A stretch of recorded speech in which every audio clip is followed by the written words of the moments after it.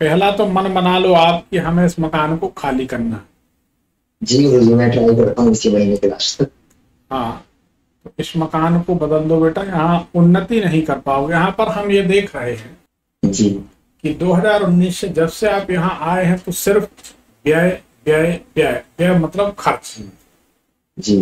खर्च हो रहा है और आ भी नहीं रहा है इनकम भी रुकी हुई है और जी। इस जगह पर अटकाव अटकाव हर काम में बाधाएँ आप देख रहे हो सही है?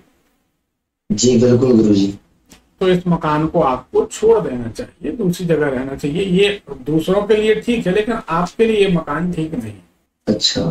ठीक है? जी मैं overall overall full time lifetime के लिए बात कर रहा हूँ कि मुझे क्या करना चाहिए फाइनेंशियली इस कंडीशन को सुधारने के लिए भी सरकारी जॉब कोई नहीं सरकारी नौकरी वाले ही बड़े आदमी होते हैं ऐसा तो नहीं है। सर मेरी कुंडली में थोड़ा फाइनेंशियल स्टेबिलिटी भी नहीं आपने बताया टाटा अंबानी अडानी बहुत सारे बिल गेट्स ये सारे सरकारी नौकरी में थोड़ी है।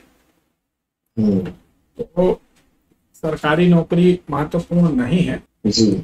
महत्वपूर्ण है दशा और दिशा का मिल जाना। हम जैसा जानते हैं कि हमने कई बार एक हज़ारों बार अपने जजमानों से कहा कि दशा और दिशा दोनों मिल जाए तो मनुष्य सफल हो जाएगा। दशा मतलब ग्रहों की दशा क्या चल रही है?